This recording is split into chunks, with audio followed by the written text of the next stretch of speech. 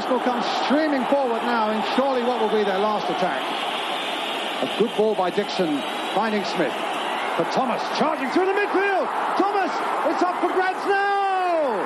Thomas, right at the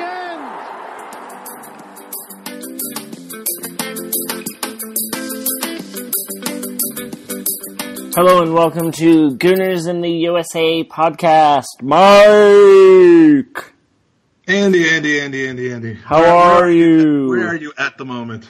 I am in Portsmouth, England, United Kingdom, capital of the world. Portsmouth is the capital of the world. Well, I was going to say What- United Kingdom was, but um, I'm actually. Where's your accent? It, I told you it doesn't really come back that much. That much. It should. It, it needs to come back. I mean, your your accent may not come back, but uh, about five minutes before we started uh, taping this, I got a, a in the WhatsApp group. I get I get having some tea. Give me five minutes. So uh, you're you're clearly British AF at this point. Well, yeah, I mean, I always drink tea. Everyone, anyone who knows me knows I drink tea. But yes, um, yeah. So no accent that really comes back, but um, still drinking tea.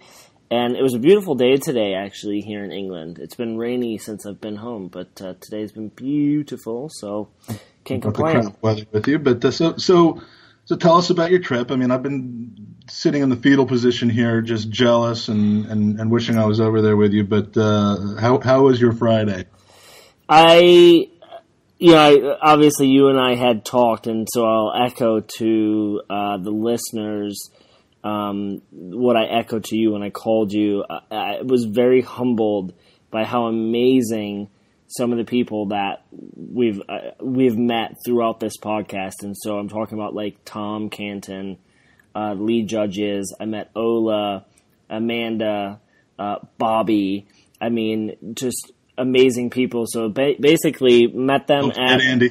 uh, oh yeah, Andy, and I'll get to Andy because man, he got me drunk. But um, we went to the Tollington for about four o'clock. Uh, I took my cousin Sam, who's an Evertonian, and he wants to come on the pod after we play Everton. But uh, met them at the Tollington. Um, went and picked up, uh, had a couple drinks. Went and picked up our tickets from the Emirates. And Mike, I had a heart attack moment because I show up, um, give him my ID, and uh, there's no tickets. and like literally, like like my like just I felt like I was gonna hurl, and and then so I show the guy the email from Arsenal America, which says you know how to go get your tickets, and sees it's the last game. Says all right, I'll be right back. Comes back five minutes later with an envelope in his hand. He goes, "They just brought these up," and uh, I wish I could say I had something to do with that, just to, just Oh, to take the man. like I was but- like thinking, how do I call Adrian? How do I call Adrian? Um, and so, so got, picked up the tickets, picked up the tickets, and so then we went to Piebury where I met up with Lee. I uh, got to finally meet Bobby, which uh, I'll get into that in a little second. So, um, going to Piebury where I've never been before. It's packed. There's a DJ outside playing ska music, which I thought was hilarious. So, Wasn't that wasn't that Paul? I mean, the DJ no, Paul. oftentimes is the owner of the. Yeah, of no, the- Paul was kind of going around because he, uh, it was funny, he tried to move me. He's like, you can't stand there. And I apologized. And then don't he, you know who I am? no, no, and then he, then he saw me with the crew and I think he put two and two together, but he was figuring shit out. So he, he left. And so I didn't really get to talk to him. But what was really funny was, um, I've never been to Piebury before. And so I had the venison with a red wine reduction. Can you, that would be t- Thierry Henry. I was gonna say, can you guess? So, uh, classy. I've put him in my mouth many times. Yep, classy. And then um, we kind of went from there and, and did another pub at the Met. Um, it was a student pub, fancy again. And then we walked over to the to the stadium and um, kind of split up because we all had different seats. And then after the match, we met at Tony Adams' um, statue. We were gonna go and watch Arsenal Fan TV record because I was just curious at how crazy it was, and we've had Rob on the show, and uh, they were like there were probably like 300 people watching them record. Oh, it's it's absolutely nuts. I mean, Yeah. I'm sure Lee waited through all that to get his He spot, yeah he got on, and then um, and then we went down. see Celebrity Lee. Yeah. Oh, oh, talk about celebrity Lee. He went and filmed for the BBC before the match. So he didn't really spend much time with us before.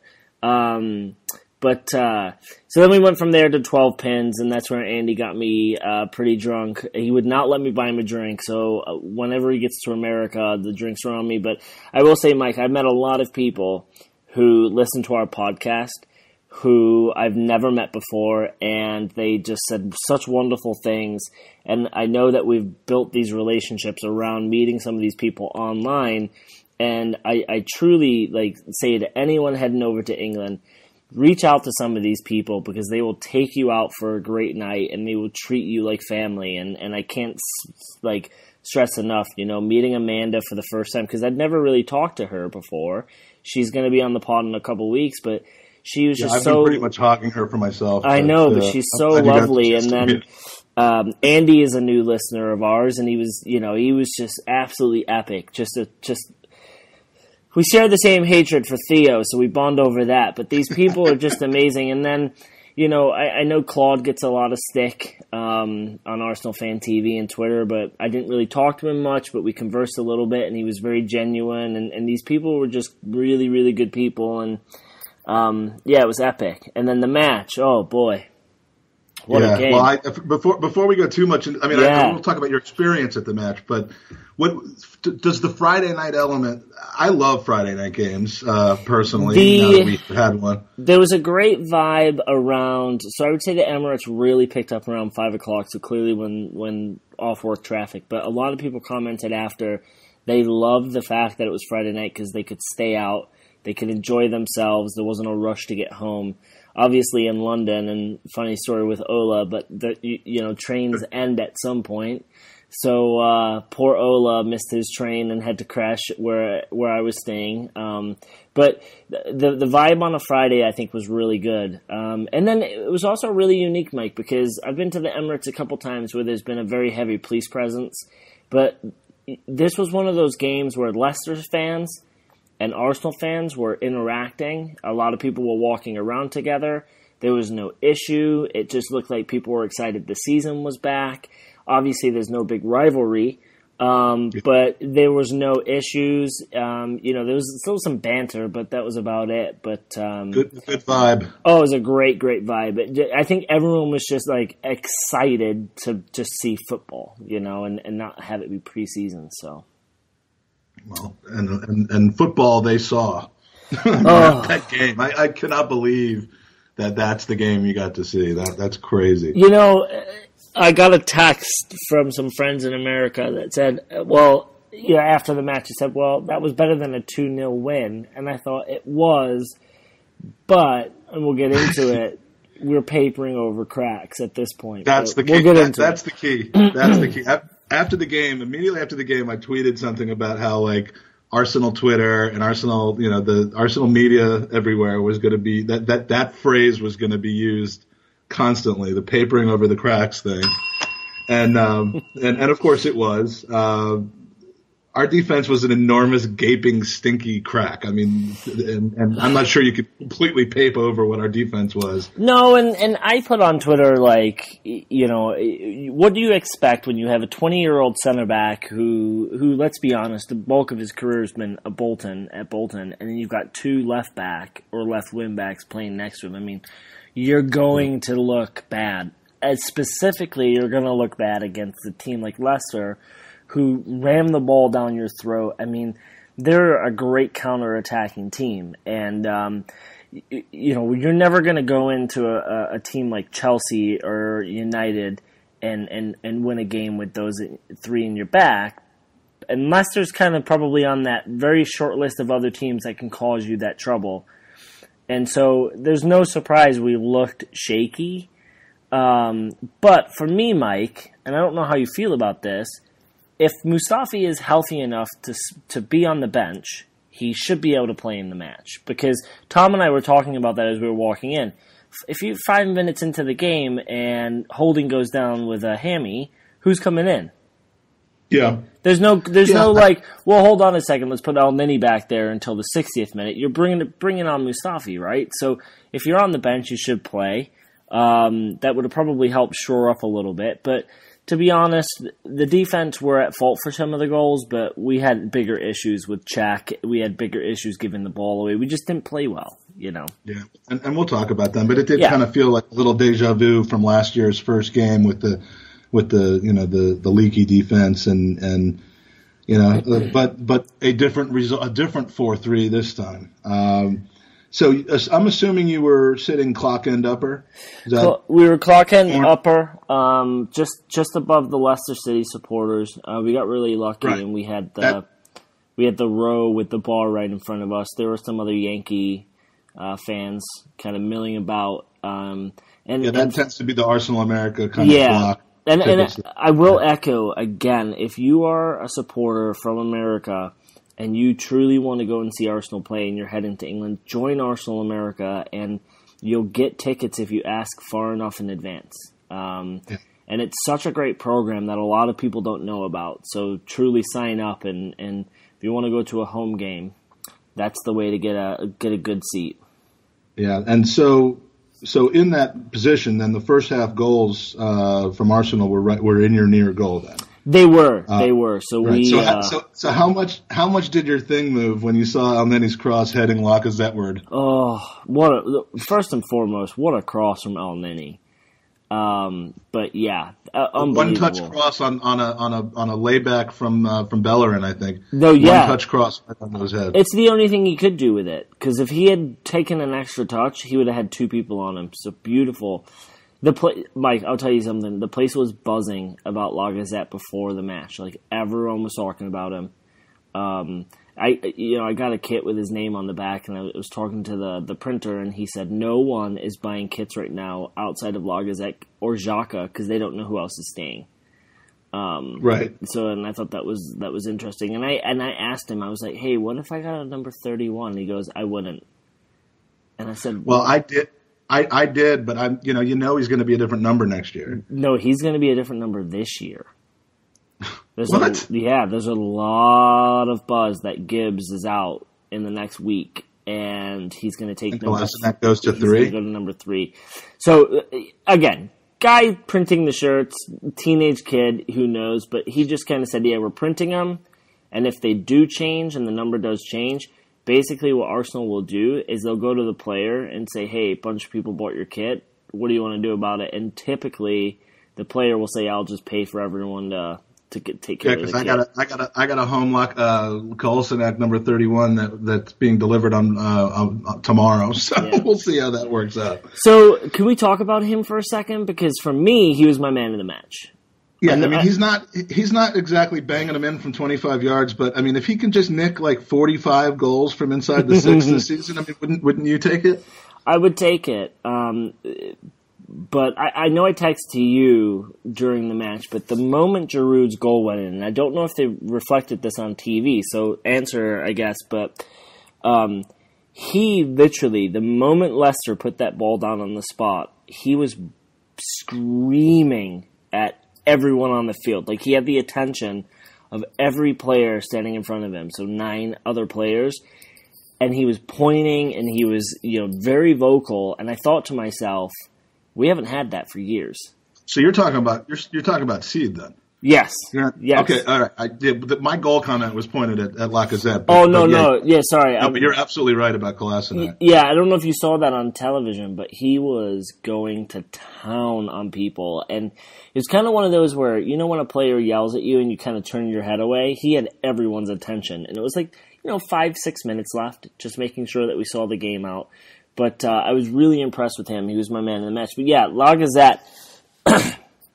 I, you know, I don't think we're going to be wrong, Mike, with the uh, the goal tallies we all predicted last pod.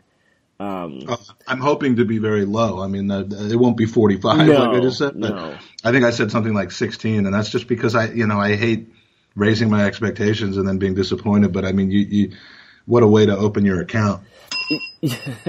Andy was telling me that you miss so many dings, and he's like, I walk my dogs and I just yell, Mike, you missed the ding!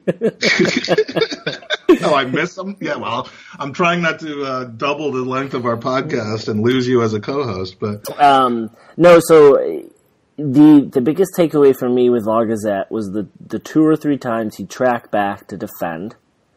Um, And then his footwork in and outside of the box. I mean, everyone gets slated him for oh he scores so many penalties. If he's earning those penalties, which I think he's going to earn quite a bit with that footwork, we've got a monster on our hands because he looked incredible. He really looked he really looked good. His movement was off the chain, um, but his footwork is sexy.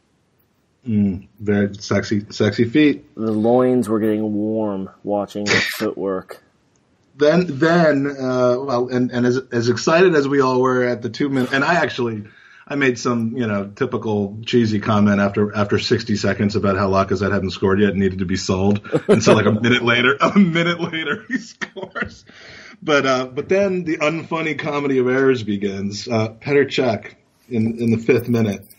Jeez, bro. Uh, Andy goalie, what happened? Uh, they always tell you as a kid, if you are not going to get the ball out of the air, don't leave your six yard box if you're not going to get the ball, right? This motherfucker left the field.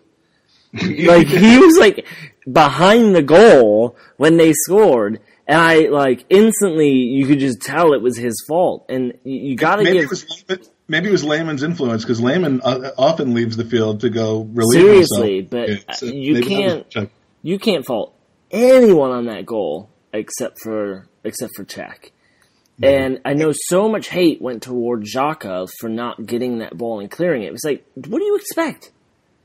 Dude's in a defensive position, like not knowing what the hell's going on, and the ball's being pipped over him, but yet Was. And when Cech makes such a strong move, which he did, you, I mean, the, the players around him are just going to they're going to defer to him because that's what you're supposed to do. Well, and absolutely, and I'll tell you this: like, if a keeper is yelling at the top of their lungs, usually as a player, you don't stop playing, but you're not on the you're not on the knife's edge of right. the ball might go in because you just, especially with a keeper of Cech's caliber, you just assume if he's coming at full steam and calling for that, he's got the ball, right?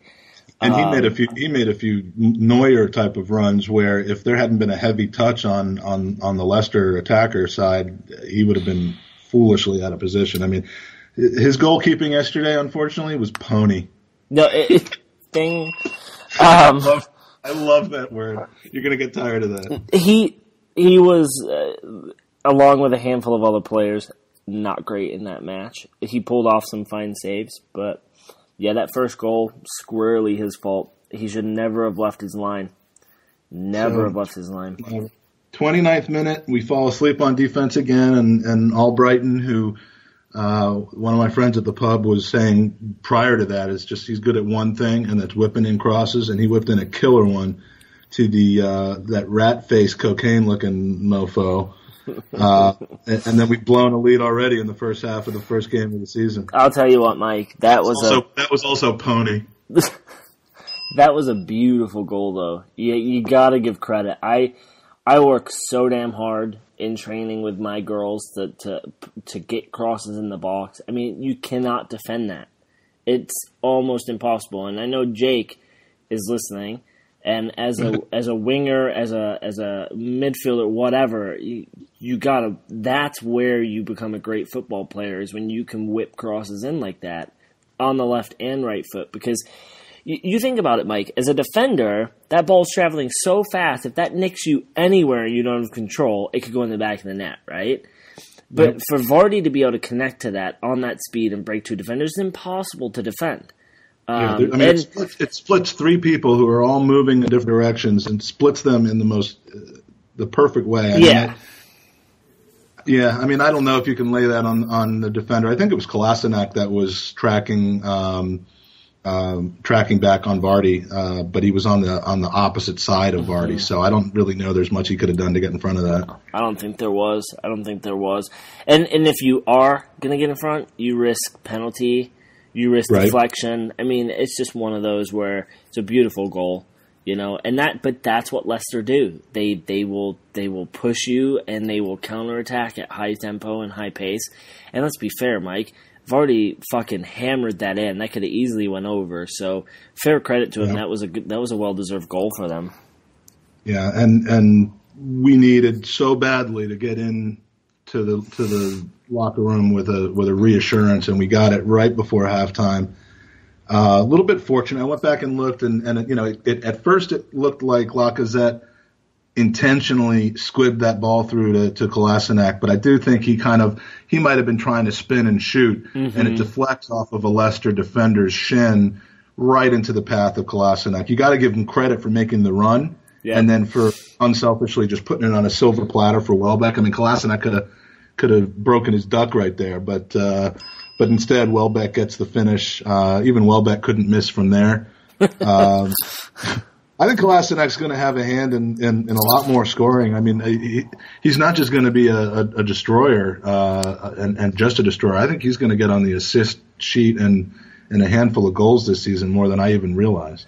Yeah, he's the opposite, he's the opposite of Pony. No, he um he was. He, he's just one of those players where you know the more and more you see him, you just think, how is he in these positions? Because he goes from you know defending in his six, and then he's putting the ball across the goal for an assist. But um, he's fast. He is fast, and, and he's like a tank. There's actually a fast, funny there's a funny video of him reading tweets about himself on the Arsenal player, which is pretty good. But um, you know, you you made a comment about Welbeck um, even he could score from there. And I really have enjoyed watching Welbeck in the position he's been playing in. And uh, hopefully that's a boost of confidence for him to have scored that goal. Because he's had a couple opportunities, uh, Chelsea in the FA Cup, couple like during the Chelsea and the Community Shield where he didn't put the ball away when he should have. So hopefully yeah. putting the ball in the back of the net, as simple as it was for him, because it was a sitter, that that boosts his confidence just a tad because you can tell that Arsene has a lot of faith in him. Um, and yep. he's a great weapon to have out there. Like having him in the Ox, that speed and skill is going to be amazing. Yeah, uh, I, I love him, but uh, I haven't been feeling as good about him as a as a finisher. No, as I did when he first came back from injury and, and scored in that first game back. But yeah, uh, you know, it, it's that was a good deal going into halftime feeling confident. I said to uh, to my friends at the pub, I said, if we can get through the first 10, 15 minutes without conceding, it's like, I don't care if we score in the first 10 or 15 minutes. We cannot concede because we always do this and go behind. Mm-hmm. And uh, I'm like, if we do that, we've won. If we don't do that, we're in trouble. And of course, we did give up a goal just after 10 minutes of the second half. How, I mean, there's a, t- a statistic. I don't know if it's it's factual or not, but apparently in the last 30 games, we've given up 77 goals in the first 10 minutes of the second half. I think it might that it might be a fake stat, might be fake news, but, it, regardless, it's it's it's mentality, right? It's um, it's getting the boys ready. Again, I think that falls on the shoulders of the coaching, the staff, and the leaders on the team. Um, but yeah, I mean, you know, as a professional, you're you shouldn't be switched off like that. You should be revved up and and ready to go. And so, so hopefully, that keep, is fake. Yeah, keep an eye on that throughout the year because that that is uh, a potential downfall in a long season, and we certainly suffered from that last season. So to see it in the first game, not ideal. And and and of course, the third goal is the you know the the zonal non-marking looking incredible there and and then, uh, you know, nobody's marking Templeton from Charlotte's Web. He's just all alone in front of the goal. Oh, God. he has t- that. Only our old listeners are going to get that, but, um, and, and our, and our 13 year old listeners who, who grew up with Charlotte's Web. But that, I mean, dude had time to snort an entire line of cocaine and wash it down with vodka before heading the ball past. I mean, that goal doesn't go in if Koscielny and Mustafi are in the defense, right? I mean, it, just, it doesn't. It doesn't. I have faith that it doesn't. And but um, again, when you're playing with what we're playing with, those are the type of goals that are going to go in. And um, unfortunately, again, great goal for Vardy, but Cech should have saved it. Well, yeah, I've I've heard a lot of goaltenders uh, like yourself um, uh, on Facebook this week, basically saying, you know, there really isn't a whole lot he could have done on the third one. Nobody's blaming him for the second one, but the third one, people have also kind of said that was more about the defense. But anytime you give up an open header off of a, off of a, a corner kick that you know that wasn't one that the goalie should have come and claimed out of the air, which I don't think that was. No, um, I just look at the defenders and the zonal marking before you look at the keeper. Yeah, no, I, I look at them way before I look at him, but I also saw um, for me, and I went back and watched. It's just the positioning, the way he fell back. It's just I don't know. yeah. But at the end of the day, again, Vardy just pops up, and he should never have been in that position to score that goal. Yeah. So then the subs come in, and Ramsey and Elneny. Uh, Ramsey coming in for Elneny, not surprising. That that that's kind of a pre-programmed type of thing, and, and frankly, uh, I'm looking forward to Ramsey. I'll get to him in a second, but but Giroud in for Holding. What's is this tactical changing in game, reacting to the situation we found ourselves in? What the hell? Seriously, I honestly I thought to myself as that was happening, he's going for it, and we would never see this before. But let's I mean, be honest. two, you wouldn't have seen that before. No, but Holding was having a nightmare of a game. Yeah, I he mean, was. he looked poor. I mean, very poor. But um, yeah, you know, got to give credit where credit's due because we give him a ton of shit. Tactically, substitutions were spot on. Elneny did not have a great game. Ozil did not have a great game. I thought the Ox was somewhat poor until they moved him to the right side, and then we saw the Ox we all know. Yeah, Um, he, he went so- from being a little under to being potentially the man of the match Eh, eh. once he was flipped to the right. Absolutely, and so I think that kind of highlights to Arsene. You got to keep him on the right, but the the the man of the match has to you know almost go to Arsene because he made those tactics or the subs. The one sub that I was like, "What the fuck are you doing?" and it, it was the Theo because well, of course. well, and, and let me explain because did Andy we and, and goals after Theo came in, or did we not score? Two goals? but but Theo didn't really have a hand in scoring those two goals, and as Andy put very suitably, we've tried this substitution with Theo to change a match for the past six years, and it doesn't work. And when the when the board went up, I thought, oh, he's bringing on Iwobi because I was thinking Iwobi would be that perfect player who could run at that defense and dance through it, you know, and create. And we bring Yeah. on Theo, and Theo didn't. Theo played well. You got to give him credit. He tracked back on a couple and, and helped defend. But it's just like I literally, Mike. I sat there and I thought to myself, like when we were down before the subs came in, I thought, oh, maybe we'll just focus on Europa, and that'll be like our season. Because I just thought it's the same old, same old, right? We're the losing mindset of the mindset of the Gooner. and and and which brings me to a great question I'm going to ask you in a minute. But I'm looking and I'm thinking, all right, Ozil gone missing. Holdings had a nightmare match. Elneny was poor. Out after the first three minutes where he had that beautiful assist, I thought he was atrocious. Um, Xhaka looked good, but not great. And so I'm just sitting there thinking, what in the actual fuck? You know? And then it was like, I, I, I, I thought to myself, if Elneny drops to the bench and Ramsey comes on, we're going to have a different match. And that's exactly what happened. You know, and, and you got to give credit where credit's due to Arsene because he made the right the right changes at the right time. Yeah, and and and both of the subs score.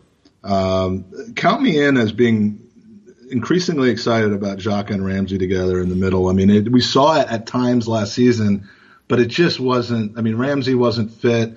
Uh, wasn't completely, uh, you know, bedded in yet. Uh, this season, if the two of them can stay healthy, I think we will be missing Santi Cazorla a little less, not a lot, but a little less than than uh, than we thought we might. And I mean, just the first one, a great ball from Xhaka to find Rambo, and and an amazing first touch, a cool finish. What was Leicester doing on defense? Protecting a 3-2 lead. They had seven guys basically standing on top of each other at the penalty spot, marking Giroud.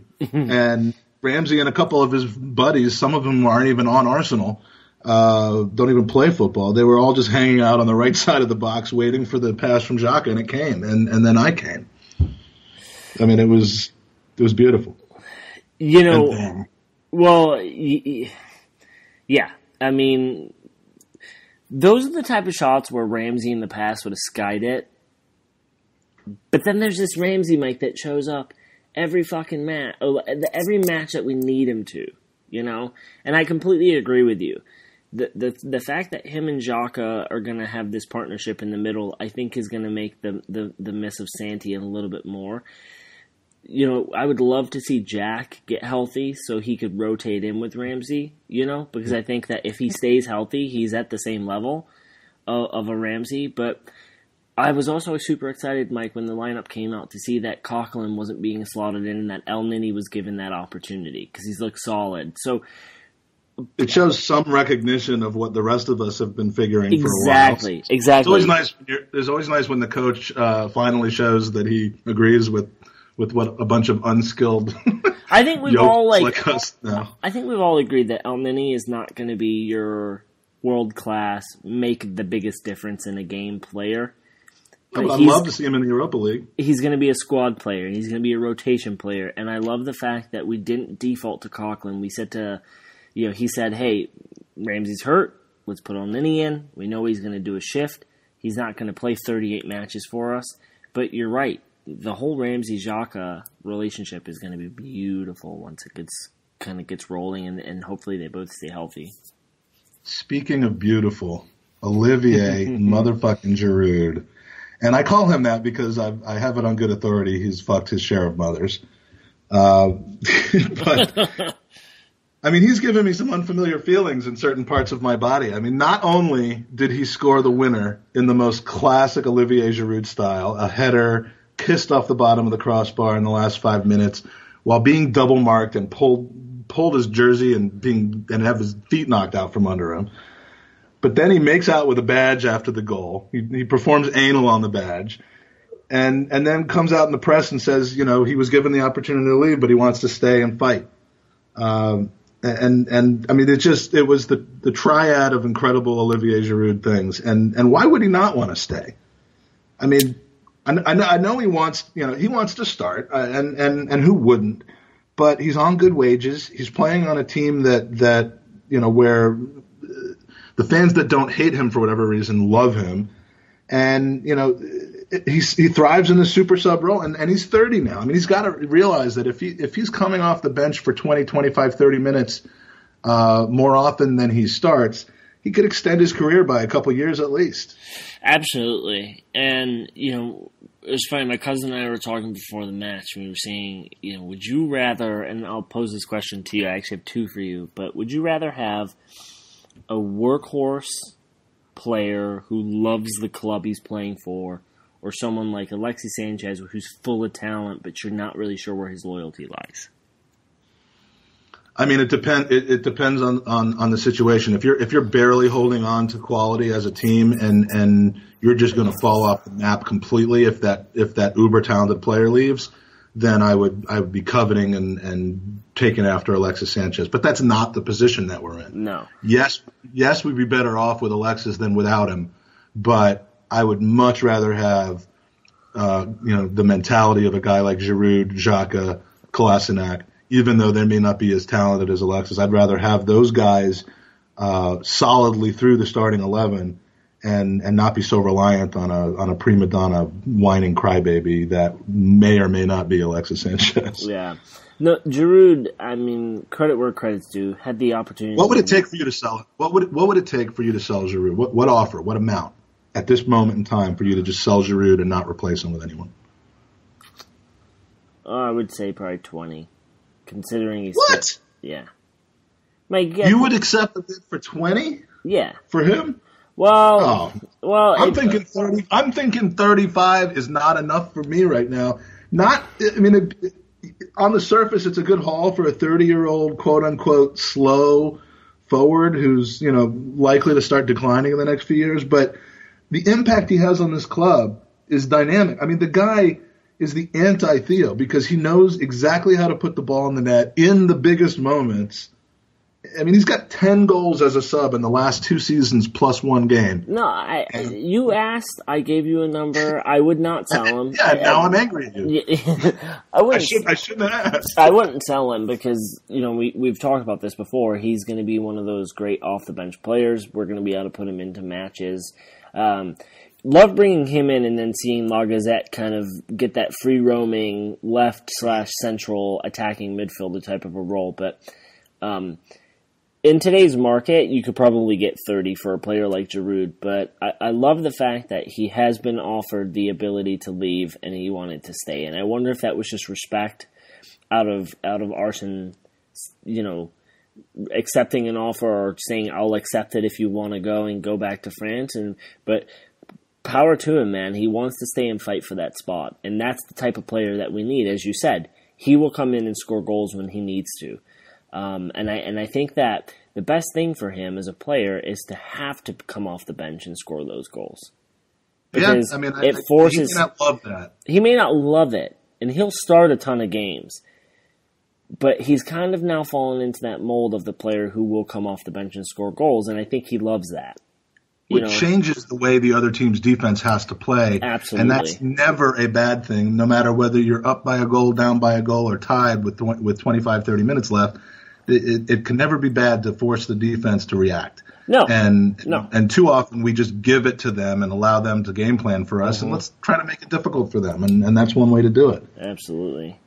So so we we end the game with 70% possession, uh, 23 tackles uh, as a team, which which tells me what I confirms what I saw visually, which is that we were pressing. Uh, Lacazette was excellent pressing uh, the defense from from when I when I was paying attention. Um, 85% pass success and 27 attempts at goal compared to six from Leicester. So I mean Leicester punished our mistakes uh, really really bad, but we were the far better team overall in the match. I think. No, no, I agree. Uh, we were not great. We were very poor. Uh, if we were playing a top four team, we would have been fucking annihilated. Uh, I think two of the Leicester goals came off of really shitty turnovers we gave them in our half. Um, there was a handful of players that were missing and terrible, but at the end of the day, we got three points, and that's all you can ask for. But we cannot stress, and I can't stress enough, we're papering over cracks. And every fucking year we go into the season with no center backs. And if we're truly, truly interested in winning this league, we need to bring another center back in. We have to. And it yeah. has to be a world class center back. It can't be.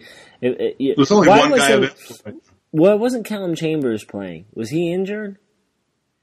Uh, that's a good question. I don't know. I mean, he was. Uh, I remember seeing him on the bench, and he looked. He looked he looked good. So was it because that he was it because he played for for England um, under twenty threes or under twenty ones in the World Cup? How could you not be ready now? exactly. I mean, exactly. That, that, that's that's a little that's a little ridiculous. But when you say you would have gotten annihilated by the top four teams, you are referring to Huddersfield, Burnley, uh, West Brom, uh, those top four teams. Yeah, right? yeah. But we need there.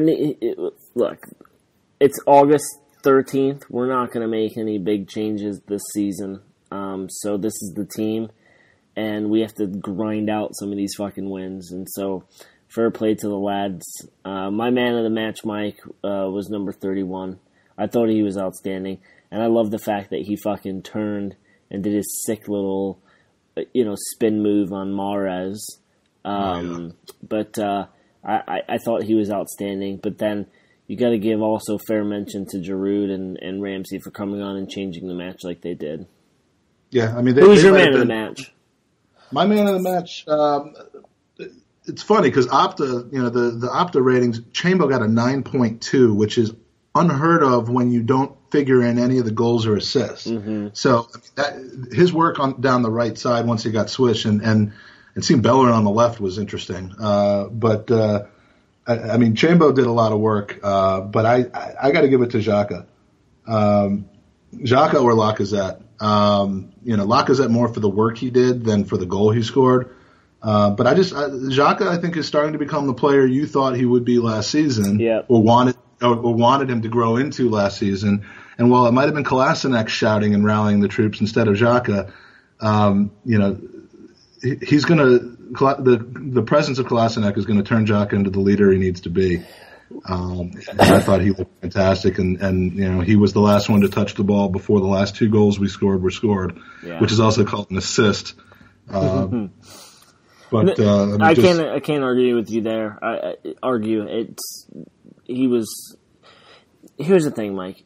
We've got two guys now on this team that are clearly leaders We've got two guys on this team who are going to get stuck in. They're going to get yellow cards. They're going to get red cards. Our fucking fan base is so fickle when it comes to, oh, I don't want a player who's plays like that. It's like we didn't complain when Vieira did it. We Right, didn't complain when like, Keown. I got red.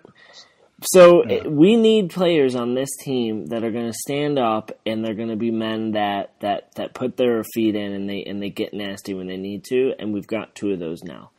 And I, third credit to the management team for bringing both of them in, um, and and probably have two guys who can who can run this team as captains. Um, but I want to say one thing about the Ox, Mike. Every time he got the ball, there was a buzz around the Emirates. Literally, like people got out of their seats, and because he has that ability to just drive the ball, and I don't like next time you fly over, just watch it because I've never seen that before with him. But every time he got the ball, it was kind of like everyone was like, "All right, it's fucking on, like we're going," you know. And I, I, I really hope he kind of senses that vibe, and I'm sure he does. For a, for, a player, for a player that doesn't score 15, 20 goals a season, No. for that kind of buzz when he gets on the ball is, is impressive. But my cousin turned to me and said, "I would I would take a player of his caliber at Everton any day of the week." And I, and I joked and I said, "Well, you take any of the Arsenal players?" He went, "Yeah, pretty much." but uh, but he was just saying that he's like he just said you can't lose him. You just can't lose him. You know, and I'm like, I don't think we will. I think he'll. I think he'll extend. But he just had that. Like every time he got the ball, it just seemed like there was a there was a, uh, a hype around the, uh, the stadium, which was really neat. So Nice. That's Yeah. that's uh, that's awesome. I, I you can feel that across the across the ocean, but it's it, it's it's definitely going on in the Emirates, which is nice because the Emirates could use some opportunities to get excited. Um, speaking of getting excited, uh, any good stories from after the match so. uh that you're at liberty to discuss? We went to Twelve Pins, uh, which is uh, I've actually never been there. I don't think. no, so uh, right right down the street from um, Finsbury Tube Station, Tube Stop. Um, apparently, it's a big Tottenham bar when they play their home Yeah. matches or did. Um, and then after matches, obviously with the Arsenal, it's a big Arsenal pub. So uh, we went to 12 pins. Uh, like I said, Mike or Andy was supplying me with a lot of uh, whiskey. Think Give his Twitter handle a plug. Do you, do you know it? I don't know it off the top of my head. I'll find it in a second. Gixer forty six. Yeah, the guy was just so much fun to be around. Absolutely, absolutely great. Um, but no, we uh, we just went and had some drinks, and then I get home around twelve forty five, and I'm like, you know, he's, he should be honored I did this, Mike. So it's like I'll just quickly check Twitter, and I get a message on my phone. It's Ola. I missed my train. What do I do? And I'm like, come crash at my place. And Which is hilarious because we talked about how you're. I mean, on, when he was joined us on the podcast last week, we Yeah, about we joked about him staying on my couch, and then he did. Um, and then I woke up the next morning, he was gone. So Yeah, I saw a tweet from him when he was leaving because, of course, I was still awake at, at all crazy hours of the night. yeah. And Um, he's, I'm leaving, but but Andy's sleeping. so this was this was actually really funny. Um, so we're we're standing around the outside, and we're just having a great time, and and uh, Andy says to Lee judges, "Why aren't I allowed on your away bus? Because apparently there's a they they drive a bus right to these away matches." and you had to go around and give three songs that will be added to a playlist. And if they don't like your three songs, you're not allowed on the bus. So Lee made us go around in a big circle and give him his three songs uh, that we would choose to go on the away uh, on the bus. And so I don't know whose bus it is. The, the really tall guy, um, fuck, super super nice gentleman. But I'll, we'll figure that out. next pop. We're gonna get uh, your three songs that that we'd take on the bus, and we'll see if Lee likes them. But um, Oh. but the other question I was asked was, would you give up being an Arsenal supporter? Like, if you could change your football team, would you do it?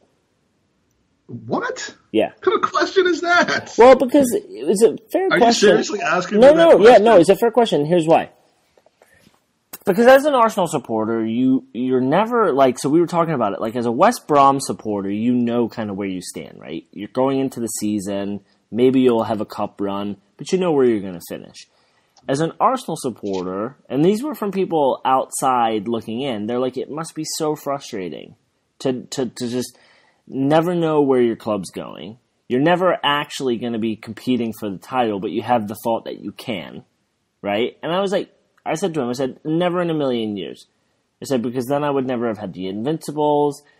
Like, uh, like even my cousin said, from the time that he's like we've known each other, which has been thirty plus years, he's like Andy's never seen anything other than Arsenal. But for a lot of people, they're like, I could totally walk away from this club if I had the opportunity 10 years, 15 years ago, if I knew what was going to happen now because of frustration. I just thought, no, never. Could never do it. Well, let me give you. Let me give. But it must be nice. But it but it must be nice for some supporters to know exactly where they stand every season. You know. Well, you know, I that's one way of putting it. I, I think they'd rather not know which top four position they're going to finish in than know they're going to finish in twelfth every year. Right. We actually, when, last time I was over in London, we were at a pub uh, where we happened to be hanging out with a West Brom supporter um, who worked at the pub, and and um, so we we kind of talked about that a little bit. He had he had interesting feedback about it. I'll go into another time, but you know, I became an Arsenal supporter 30 years ago in two like amazing, glorious years over in London as a teenager, and then I came home to the states in an area where the, you know there was no internet, there was no I mean there was no way of keeping in, touch with the team. Um, and you know, then I went to college, then I started a family, and and you know, 15 years goes by, and my son starts playing soccer and you know I, I, started getting back into it again. But I mean, was there there was no possible thought process of, at the time in 2006 saying you know okay let me reselect my team based on who's good now and who's you know I mean obviously Arsenal had just been through a period where they were probably you know if I had done that they would have been the top team anyway. But uh, I mean there was no question it was Arsenal. I think uh, 15 years, 15 years away or not, it was Arsenal, and, and Yeah. it just got stronger and stronger. So I mean, I, I insulted that anyone would think that anyone, if if you would change your team because of the frustrations we've been through the last 12 years, if we want to call them frustrations, then you're not someone I want to be hanging out with. I think that the the question was really posed around that um, a lot of season tickets weren't renewed, and I think a lot of the Arsenal fans right now are just so frustrated with the same old. Rep- I think it kind of hit that boiling point. And Well, that may just be about whether they want to devote uh, Well, it's the- their the- income to it, the- not going the- to support other the teams. time and income, but um, a good friend of mine um, who I got to meet up with, she was like, you know, I just back in the day, I would watch every Arsenal match. I would listen, follow. She's like, I'm not that way anymore. And she said until the regime changes, and I think she's more managers and coaches. She's just like, I just don't have the love for it that I had two seasons ago. You know, Well, that and- and- that's and- one thing. Yeah, But and so and that's where the, it with another team. but no, no, no. That was where the question was posed. Like, if you could, if someone said to you five years ago, "This is what it's going to be like for the next five to ten years," or ten years ago, would you have walked away then? And th- everyone agreed no. But I was just curious, you know. Um, and like you did with the NFL, you walked away because you just didn't enjoy it anymore. So there's a point I think for people over here where they were just like, "Enough's enough." yeah, Um, that's true. I, but I, I, in the same breath, Mike, everyone was saying to me how fucking lucky they are because I that they this is their backyard. Because they they were saying to me like, "Oh, is this your first time?" And because the accent, a lot of people don't know me. I said, "No, I'm from here.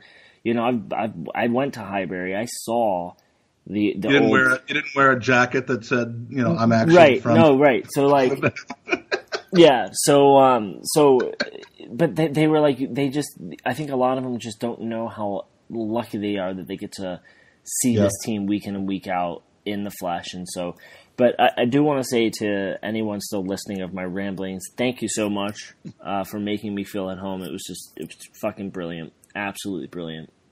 Awesome. Well, we have uh, we, we we have a number of listener questions. Some of them should be pretty quick answers, but I want to want to try to get them all in if I can. Yeah. So, um, actually, I, I I don't know why I just call them listener questions. They're user questions.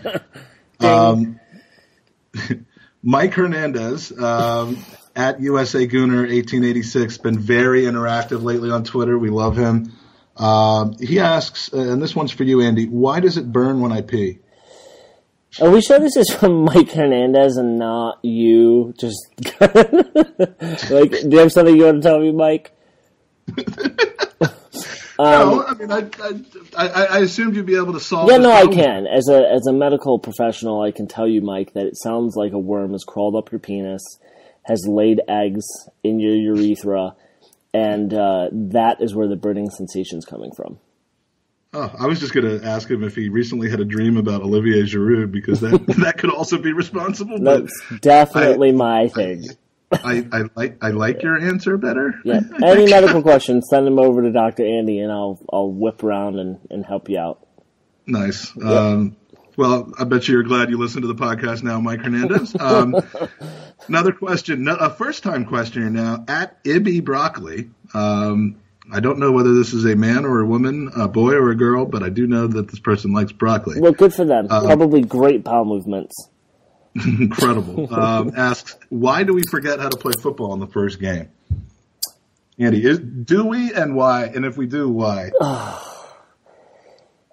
don't know if it's just the Friday night thing.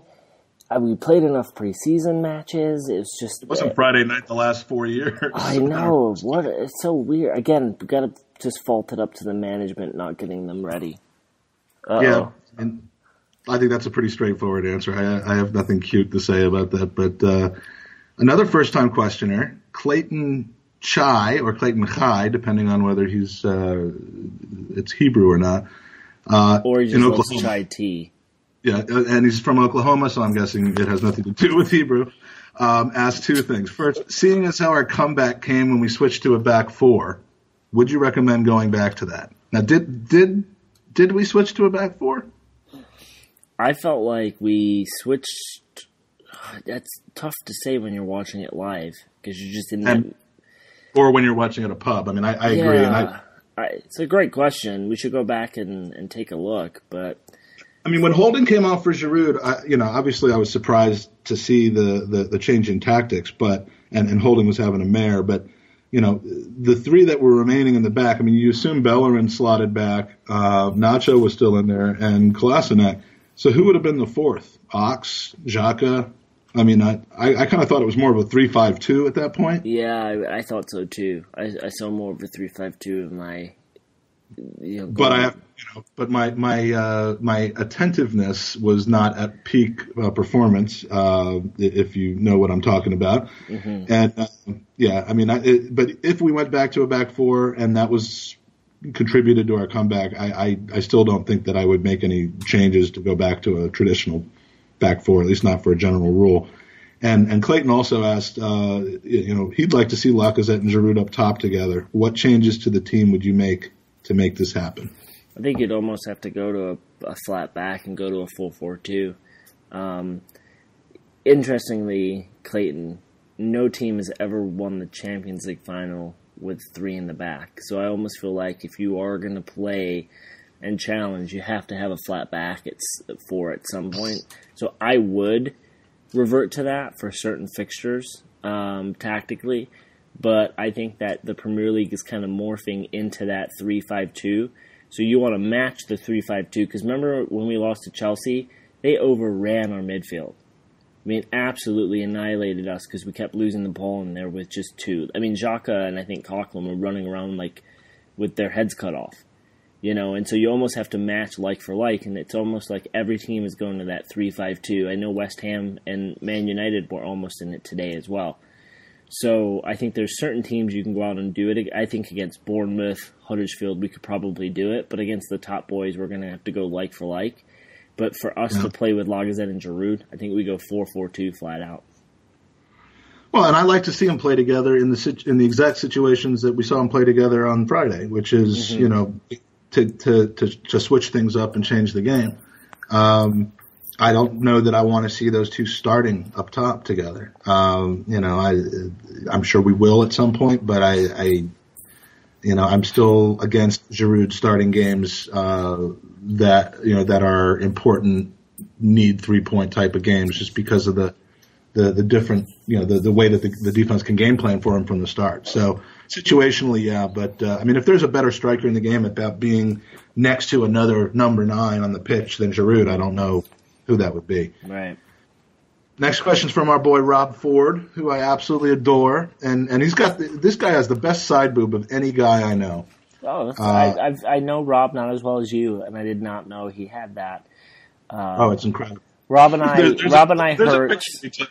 Go ahead. Rob and I hurt on on two different sporting team fronts because he's a big Cowboys fan like me. So we we cry more often than most other Arsenal fans. When you're a Cowboys Arsenal fan, there's way more tears. Well, you deserve, you deserve each other as far as that's concerned. But uh, do either of you think there's a reasonable and practical way to hurt Stan Kroenke enough, financially or politically, that would make him want to give up on Arsenal and sell, or is his ownership too big to fail? And uh, there's no way that we're ever going to be able to hurt Stan financially because I believe he made a comment when he first took over the club because there was the whole concern of United were bought by American owners, Aston Villa were, and financially they're not doing great. And I remember he said something along the lines of, "My wife's a Walton, we'll never have to worry yeah. about money." So financially, Stan's never going to get hurt. I think I think the exact quote was, "Nah, nah, nah, nah, nah. You can't hurt me financially." yeah. so. Again, politically, I don't see. Uh, there's no way. And I know Rob was going on the whole. I'm not going to buy a kit, and um, he just bought a kit, right?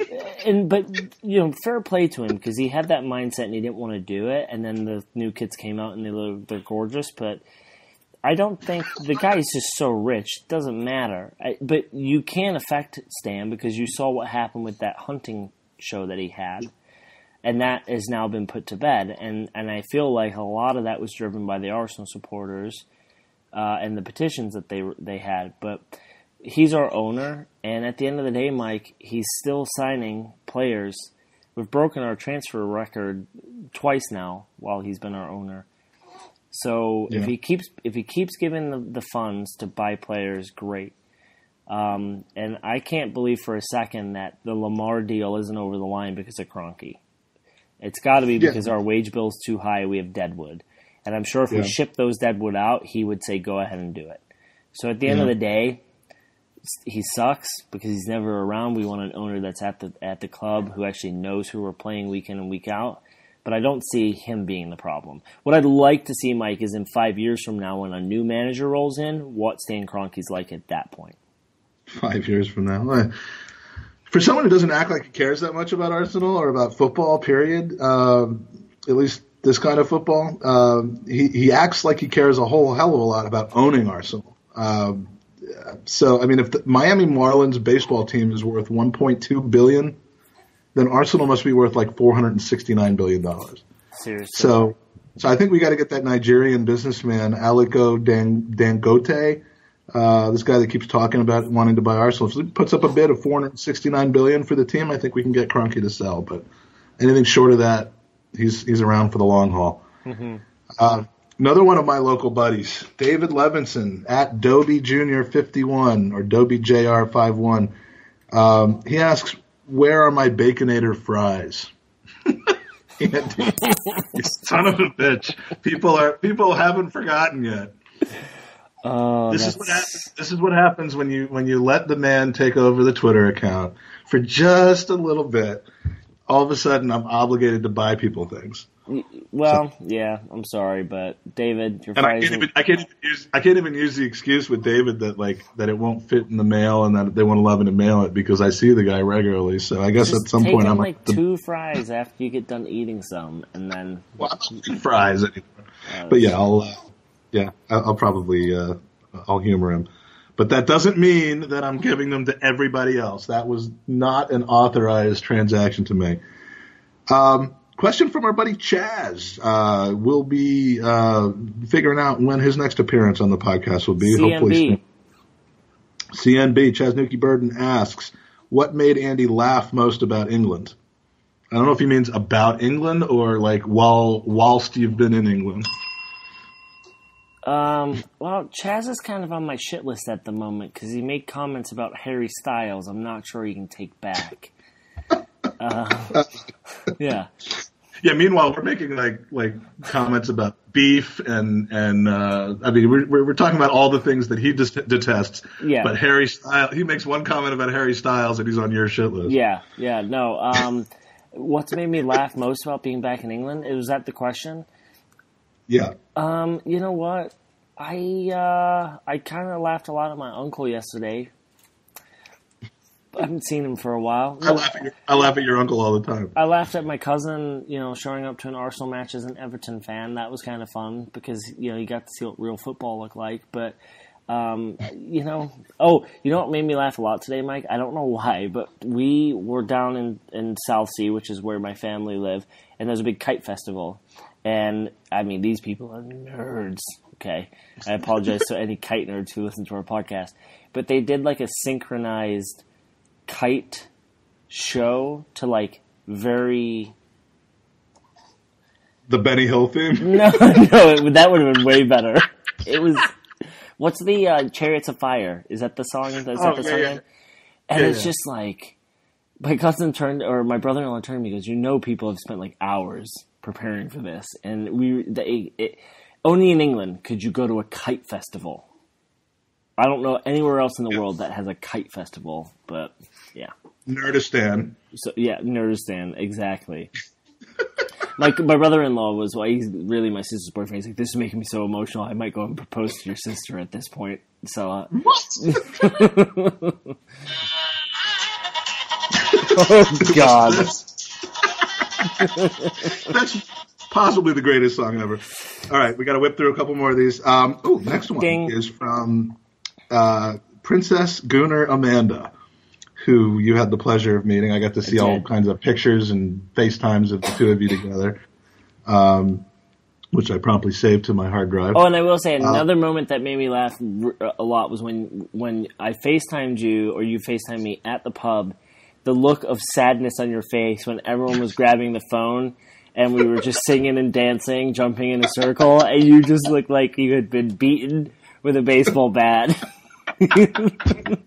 That's pretty much how I felt. But that uh, was brilliant. Yet I'm still not. I'm not angry for you doing that. I appreciated it, but it it, it did kind of turn the knife in my in my wounds a little bit. But Yeah. so so Amanda asks uh, at Gooner Girl 19, 1969. She hasn't changed her. her And Chaz, yet. Chaz should have really come and met up with me before the match. So Did you did you ask him to? no, I didn't. But we could have talked about our Harry You should have just known where you were going to be. Come on, man. Who is Andy's favorite Gooner that he met Friday night? And I'm guessing it had to be Bobby Chakrabarti. Oh, right? dude, I feel so bad because Bobby met us at the Piebury in a big group. We are like, let's walk over to a new pub. I assumed he was on the back because I didn't really get to talk to him. I was eating. I said, when I'm done eating, I'll chat. Well, like, he'll come over and talk. Um, and then when we got to the pub, I turned around and said, "Where's Bobby?" And everyone's like, "What the hell did he go?"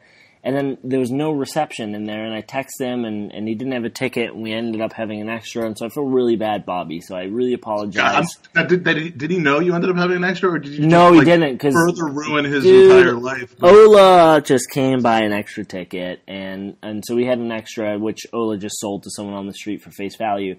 Um, but that was way after. Uh, that was right before the match, so I apologize. But um, Uh, yeah, I see where her question came from. Loved meeting. Honestly, they were just all so amazing.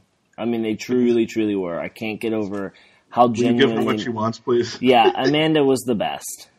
She was. She's the. Bi- Because we're never coming on her podcast unless we give her what she wants. Right I know, now, so- and I think I'm also contractually obliged to tell everyone that she has over 14,000 Twitter followers as well. And they apparently all came up to her on the streets of Highbury. Before You know what? game. Twice people came up to her and like said, "Hey, Amanda," gave her a kiss on the cheek, and she was just like, "Who was that person?" One of them was her dad. But no, but All right, every I'm very- everyone everyone was just so nice and and um you know she gave such good props for the pod and we're super excited to have her on and and Ola Tom like honestly they were just such such great people awesome. Uh, Yeah. Another good person is is Johan Nay at John Anthony R4. I'm not letting you butcher it this week. Uh, Gooner Dove I, gets a gets a chance for. Well, actually, you get the chance for redemption. What is his Twitter handle now? Johan um Johan. All right, uh, If, as expected, we focus on getting rid of the deadwood and don't strengthen further with new purchases, is this acceptable considering where we finished last year in fifth? look it's a really good question and that honestly the answer is no it's not acceptable this team should be challenging for the title, we need to get rid of a few players. If it's truly the matter of having to remove three or four wages before we can add a Lemar type player or a Mahrez, then we should have done that weeks ago. That should have been identified and they should have been caught.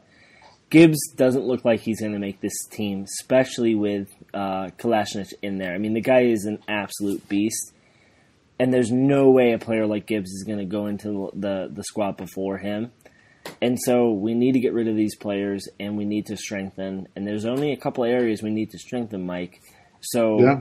I don't think it's acceptable, you know, where we're at right now if we don't get rid of this deadwood. Now, if we do remove them, then we have to bring in a few players, and I think if we do, Yeah, he's that- saying if we if we are able to get rid of them, but we don't add anyone else. yeah, then it's bullshit. Absolute bullshit. summer. No, Yeah. no. Yeah.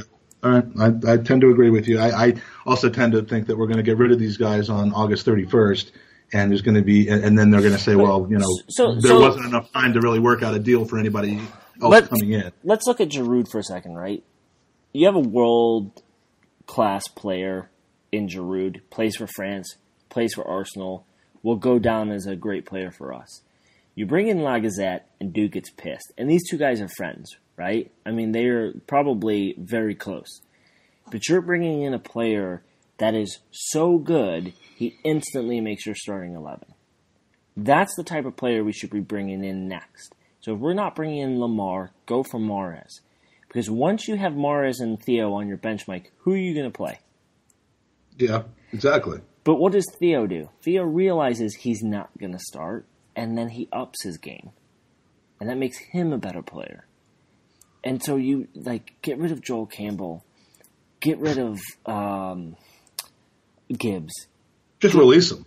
Just- release Joe Campbell for free. remove them and, and bring in those players that are gonna make instant impacts that are gonna that are gonna start for us but they also force the other players to be better right i would Yeah. love for us to bring in a central midfielder that would make ramsey think shit i need to play better not because ramsey's not good enough to play i'm not saying we need to replace ramsey right what i'm saying is we bring in a player that all of a sudden makes Ramsey say to himself, I need to be better if I want to play on this team. That's what you need to do.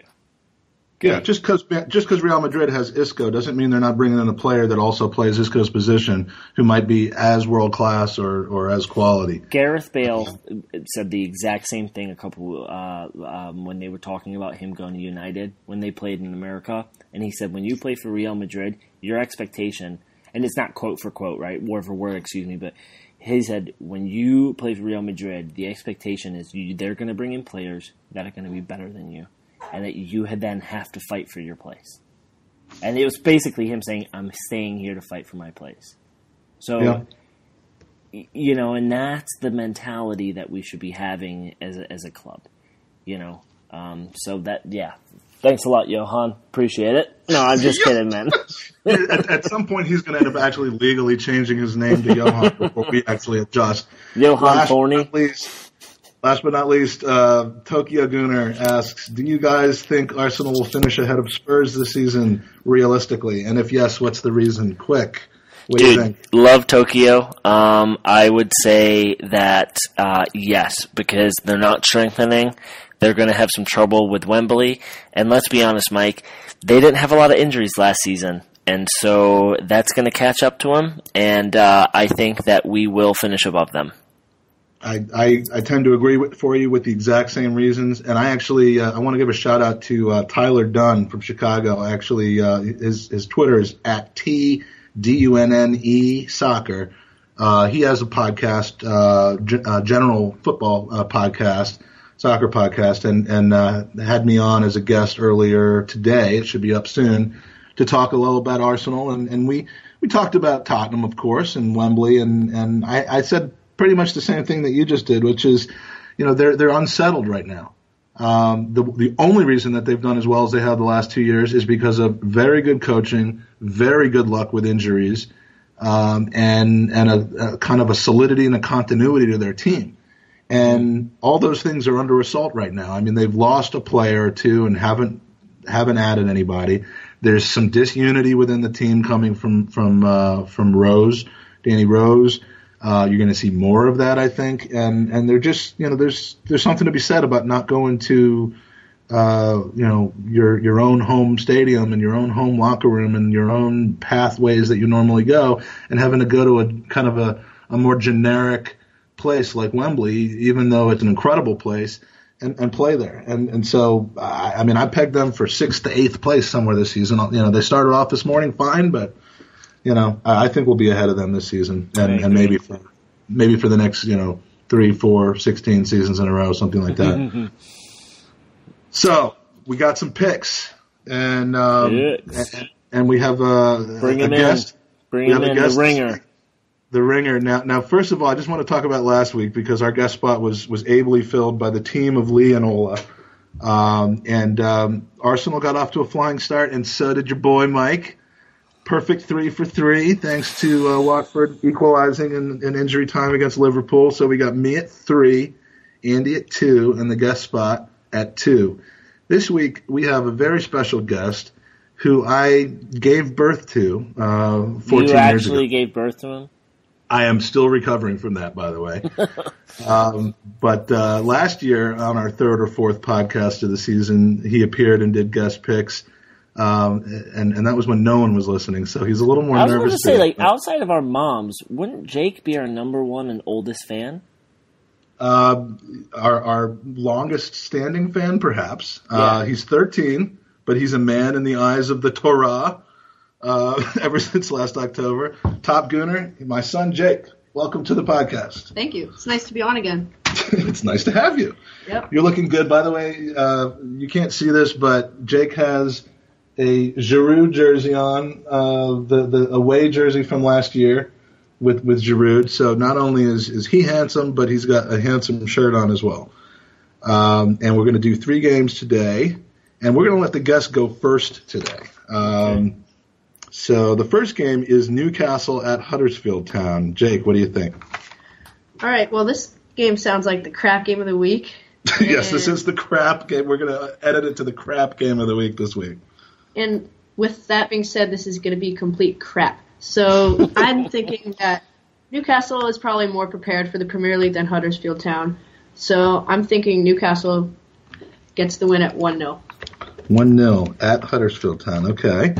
It is uh, the battle of the promoted teams. Um, I'm going to think uh, it's at Huddersfield, so I mean, this is their home debut. They're going to shock the world and stay top. 2 to 1 Huddersfield. Andy, what do you think? All right. Um, I'm going to go two all draw. Nice. All right. Some goals. Huddersfield's in the goals early in the season. All right. The second game, a pretty big quote unquote top six battle pretty early in the season. Chelsea at Tottenham to, to, to start off the season. Tottenham won the first week. Chelsea, we all know what happened to them. Uh, Jake, what do you think? Well, I'd love it if both teams could lose, but um, That'd be nice. well, closest to that will probably be a tie. If both teams lose points. Um, I'm thinking 1 1. 1 1. All right. Any idea who's going to score for Chelsea? Uh, Put him on the spot. I don't know. Um, Hazard has been great the past few seasons, so I'm thinking he'll stay up there and score a goal. All right. If he's playing, he's scoring. All right. Um, and and I think uh, they'll get four or five more red cards in, the, in that game.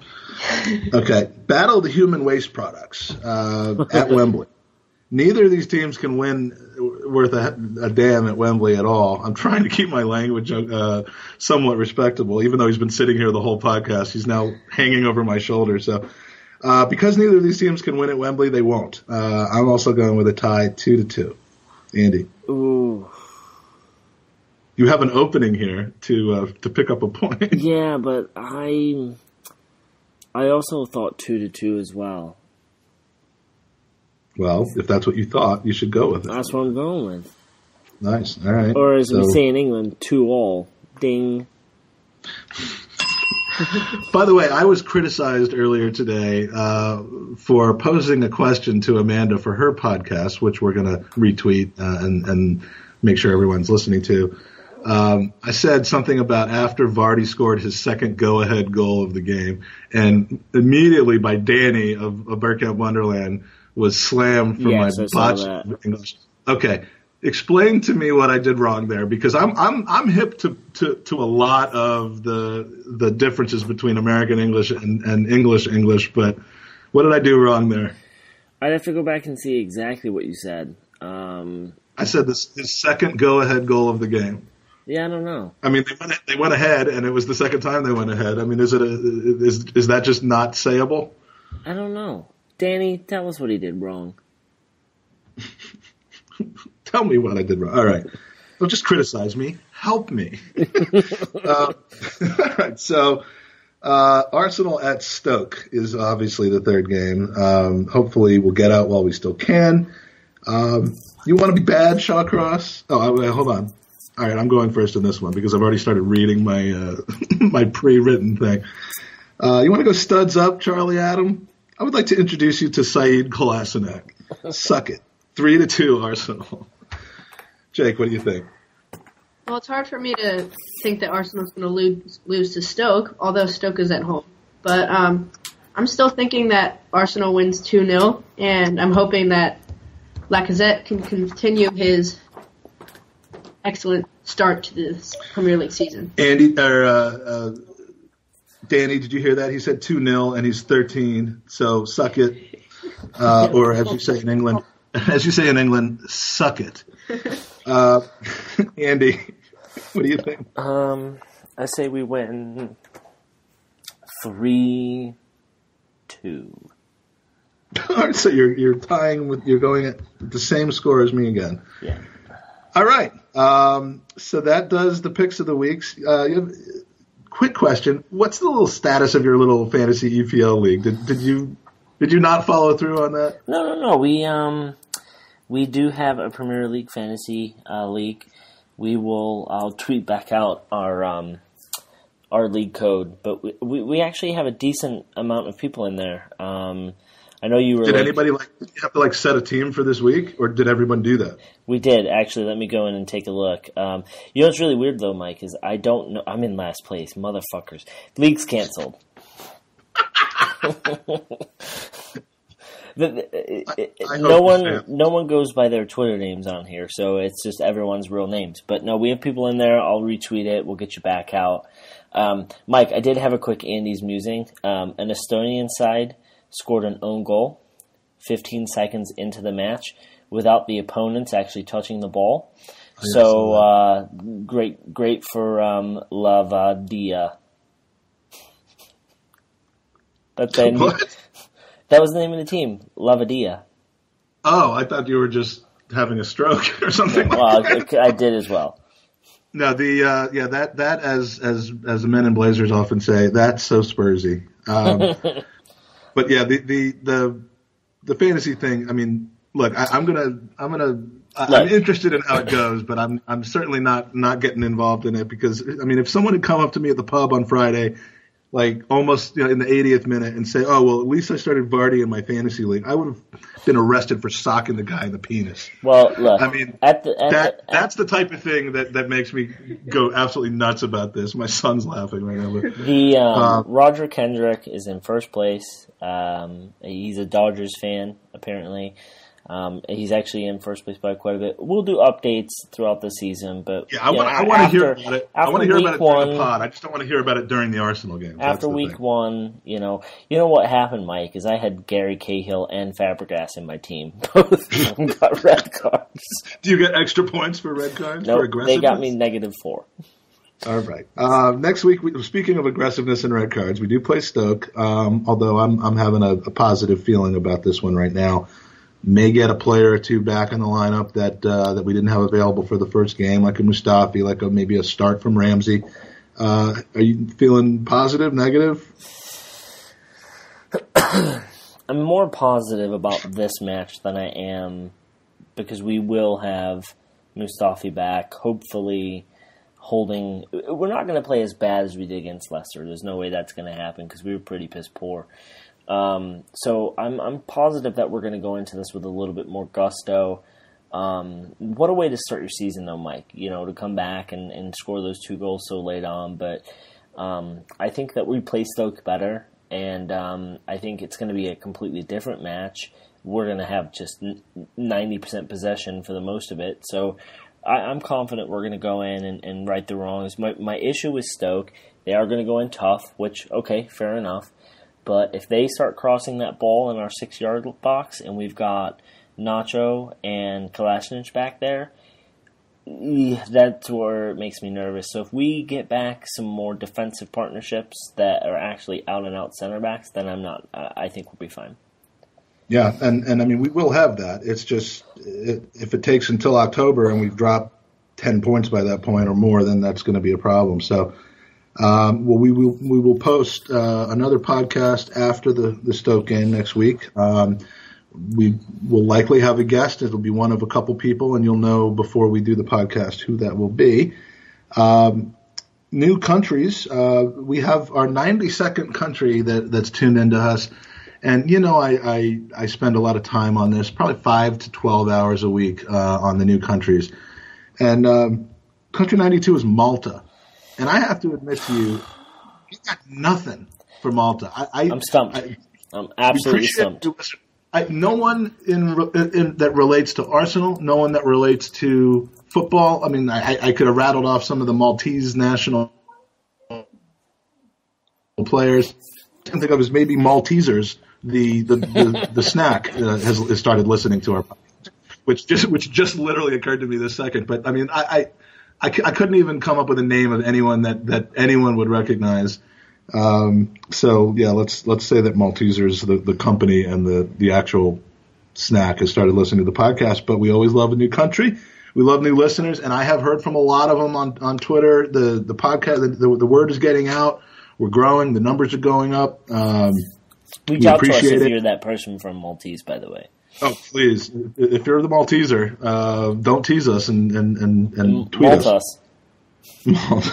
so uh, yeah, please please keep helping us spread the word. Listen on iTunes, subscribe on on uh, on YouTube. Still starting to get those numbers up on YouTube, but if you know if you look at those numbers on YouTube and think that those are the only people listening to the podcast, then you're starting to believe our jokes. But no, that's that's uh, we'd like to get those numbers up, but we we tend to mostly still be a an iTunes uh, cast. But please subscribe, leave comments, interact on Twitter, retweet our stuff if you can, and uh, it's going to be a fun, fun season. Uh, even if it's not a fun, fun season, we're going to make it fun. So, um, hope you have a good week, Andy. Thank you. You as well. Thanks, Jake, thanks for, for coming on, man. Yeah, thanks, Jake, for coming. No problem. And uh, come on, you Gooners.